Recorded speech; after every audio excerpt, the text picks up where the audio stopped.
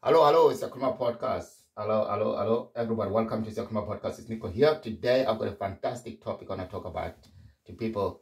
I want to talk about friendships. I want to talk about loneliness. You know, I was thinking today, oh, like, how many people did they text me this week to say, Nico, how are you doing?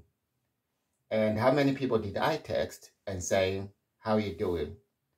For me, I want to be honest with you, maybe it's about five some of them I still use that old traditional when the technology came to wish people birthdays on Facebook and stuff. I like that sometimes because this is where you see other people celebrating their um, birthdays. And as well whatever they do. Nowadays we can't hide much. We've always been seen on the social media and stuff like that. So i was thinking like um why why people now they're not they don't talk anymore. Like uh i mean like I'm not not because I want them to talk to me, but I'm just saying in general, even our relatives, our families, it's very very rare to get a, a text message asking you how you're doing than telling about the problems.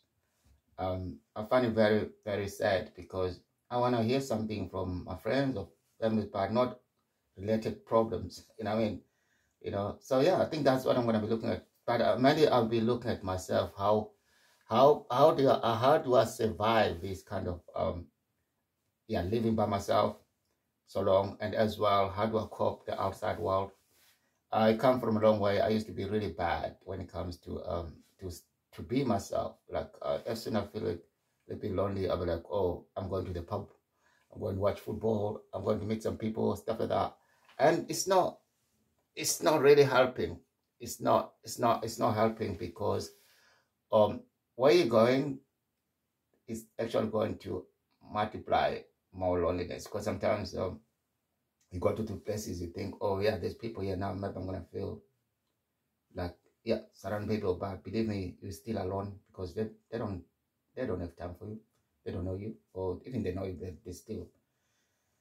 Um i always tell people like sometimes people say oh i'm going to meet my friends in the pub or i'm going to meet my friends in this place uh we're gonna watch football or that that's not true. That's, those are not your friends. Those are people you know. A friend is someone who check on you, not every day, but, you know I mean, at, at least twice a week. You know I mean, how you doing, mate? You right? So that's things like that. But nowadays it doesn't happen anymore because it's not big. I don't know. Uh, in my own opinion, like, uh, I think people maybe they're more comfortable to hide uh, to whatever they're going through and use social media to protect their really, really feelings. You know what I mean? Or show their own feelings, true eh, feelings, true colors. I don't know. But uh, let's look at Nico. Uh, that's me. let's talk about me. It's like, uh, I don't know. Uh, I come from a long way, as I said earlier on. Like, I used to drink a lot. I used to go out a lot. I used to be rubbish. When I mean rubbish, I mean like rubbish, rubbish, rubbish. You know, um, horrible but the good news, I'm not violent. I never fight anyone. I never do anything bad to people. Just me being embarrassing myself. And, you know, I mean, I took that as a lesson because I think a child has to fall many times before he takes steps and, you know, walk and crawl, all that stuff. So I think it's okay. Instead of uh, me beating myself about many years ago or whatever, I think I take that as a lesson. I take that as a step because we all have to stumble sometime in life. But once you get up there, and then you see, wow, I think I'm fit enough to change that, uh, to stop embarrassing myself. It's a pain as well because the change comes with pain. You start to isolate yourself. Like I'm happy because I've got, uh, you can see I'm on the recording studio, the podcast. That was a good idea actually to come up with this because it helped me a lot to not to feel alone and as well give me freedom to of speech and uh, creative as well.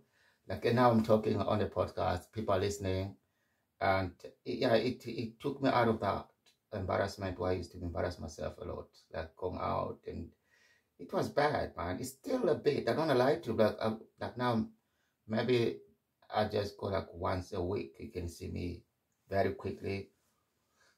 And because during my embarrassment times, I made sure that I was banned in a lot of places, so I don't have to go back again. And no, it wasn't a plan, but, but it looks like that now if you look at it, but it wasn't planned like that. But um, I'm glad now when I look back, there's some places that I don't even try to get in because I'm, I'm being banned, not because it's violent, just dancing stupid, saying things, people get, people are sensitive nowadays. uh, you say something and someone go and tell the doorman, uh, uh, Nico just said this to me, I don't like it. I think he's a bad person, should be banned in this place. Or some people lie about me, they make up stories. There's so many things happened during, uh, during that time. Like, oh, yeah, I know the places. And sometimes racism as well. We need to talk about this because racism is also part of uh, of a nightlife as well. Some security domains and management and stuff that they use that as their power as well, especially when you're drunk, because you're not really on your senses. You're always gonna blame yourself. Yeah, I was drunk. It's me. No, it's not true. Sometimes people take advantage um, when you're going uh, when you're going through some things life. Yeah. So I don't know. Um, I don't want to talk much about that because sometimes I have to bring all the evidence, all that stuff. I don't have. I don't think we, we when it comes to racism, do you think we really have to always wearing cameras? No, I don't have to. If someone's been bad, it's been bad. You know I mean, we don't have to prove it. It's there because you know I mean. It hurts me, but they are wearing cameras to prove themselves, but we we, we don't have to because they're not wearing uh, cameras to do racism. They're wearing cameras for people attacking them. But then when they're doing racism to you, they'll switch off that thing off. So if there's no evidence, you can't, you can't prove.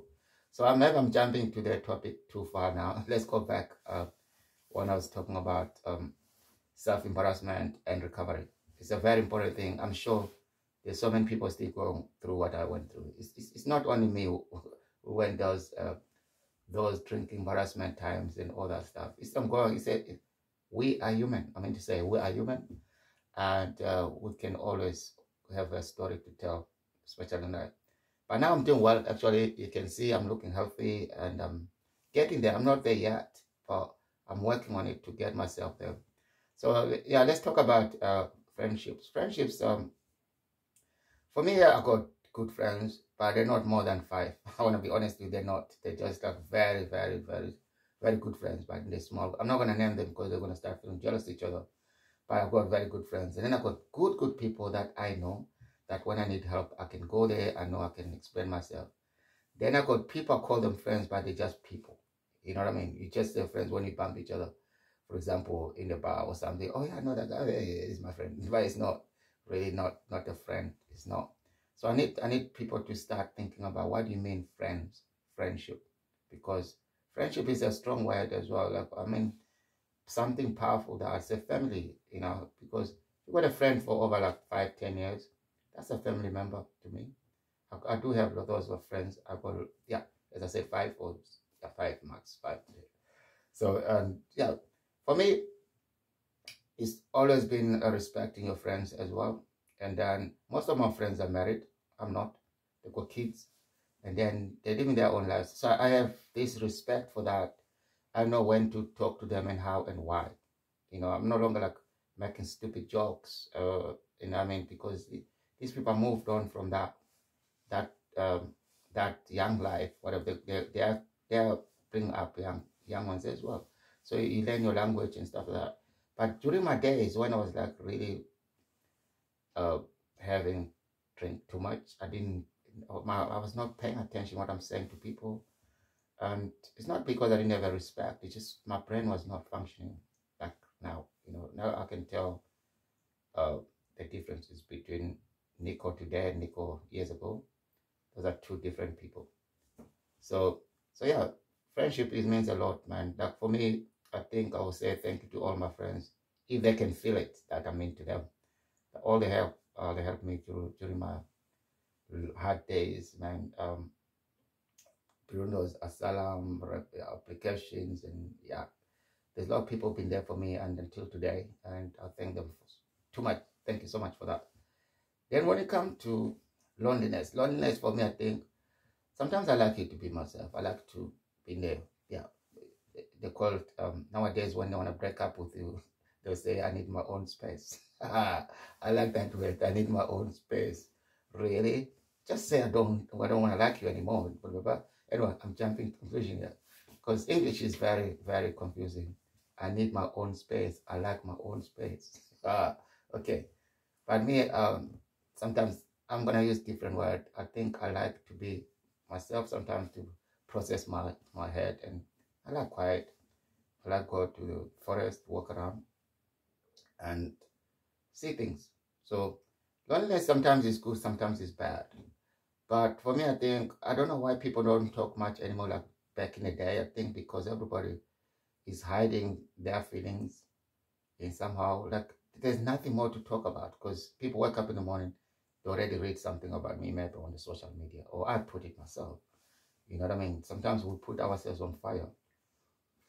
And then, or sometimes we actually block other people not to talk to us because of the things we put out out them Um, I don't know. It's um, yeah. I think that the loneliest part is that uh, again for me. This is my. I'm not an expert, but I'm thinking maybe COVID during the lockdown, people they managed to actually learn how to live by themselves. You know, it was a very very bad process. And again, to avoid to be sick, you have to stay indoors. And that, that part of break, uh, sorry, of COVID during the lockdown, it did change people's lives. Bad, good or bad, I think it's one of those. I think it created people to accept loneliness, but while they're suffering inside.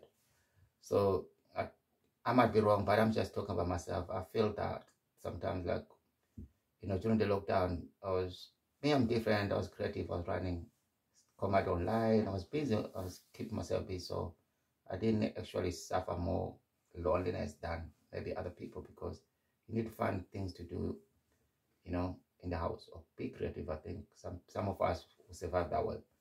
But what about those who can't do that? How do they survive? Some people fall on drinking, more stuff, or some people created more kids there's lots of stuff happened, uh, you know. And once the COVID finished, people stayed them. But there's one thing I want to, I'm proud of um, that I learned and I enjoy until today.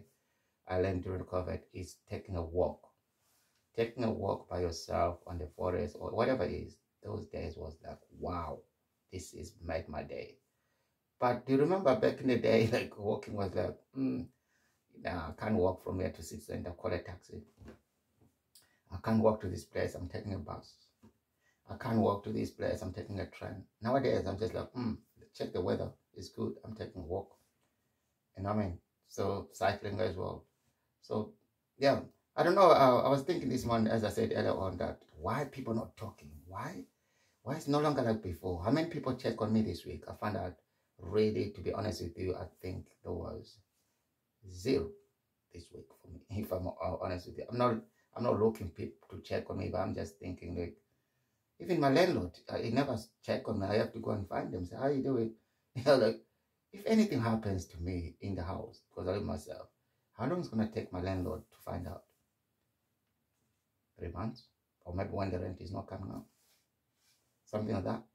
I'm not saying you should check on me, but I'm, I'm trying to find a way what people think. You can tell me what you think about what's the what's the best way for people to communicate what's the best way to uh, to actually look at the loneliness and, and the friendships and what what is the best for society to be actually to come and to you know to mingle to have that old old days when people can actually go and sit somewhere in the cafe i'm sure people still do it but because there's a nowadays we're all actually measured about groups as well you know there's a different groups of people nowadays so if you're not part of that group you're not fitting in, you're alone. So you don't go to those coffee shops. Uh, you don't do that. For me, I'm happy to stay home nowadays because I'm trying to avoid pubs as much as I can. Because I'm not yet super there where I can actually control my habits. So I'm still fragile. I can actually fall back to that craziness again. But that's why I avoid City Center. Not because I don't want to go there, but I just know that I'm not fit enough to actually avoid it. It happens sometimes. Um, and I'm I'm sure there's a lot of people out there who trying their best as well. Just keep doing it, man. If you can make it to six days without alcohol, that made today seven tomorrow, then eight on Tuesday, because last drink I had was on Tuesday last week. That made me feel great. But I'm still jealous about other people. So, oh, four years no drinking. I've been 20 years not drinking. like, please don't tell me that. You're not helping me. Because I'm thinking about 20 years from now, and I'm only been a week. That that's a long long way. You know I mean? I'm like, ah, can I do this? no. So what I'm trying to say, if you never drink for 20 years, please just say you don't drink alcohol. Don't give us numbers. Don't tell us why. Just say I don't drink alcohol. That's it. Because if I said I've been one week or two months, you're telling me about 30 years, you're telling me about five years, you're talking about four years, you're actually putting me off because I'm thinking, how the hell did I get there? So when people are still new and trying to stop bad habits, don't, those who passed that stage, who are no longer part of the bad habits, please don't talk about them. Don't, don't give people five years, 10 years. Just, just don't, just say I don't do that. I think that makes sense. Um, that encouraged me to, to go silence, you know.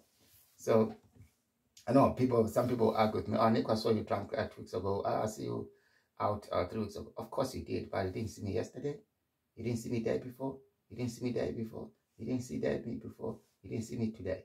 So you don't know, you're not gonna see me tomorrow. So stop worried about it. You might you see these people they used to say, Oh Nick, I saw you drunk last night. You are so drunk, man.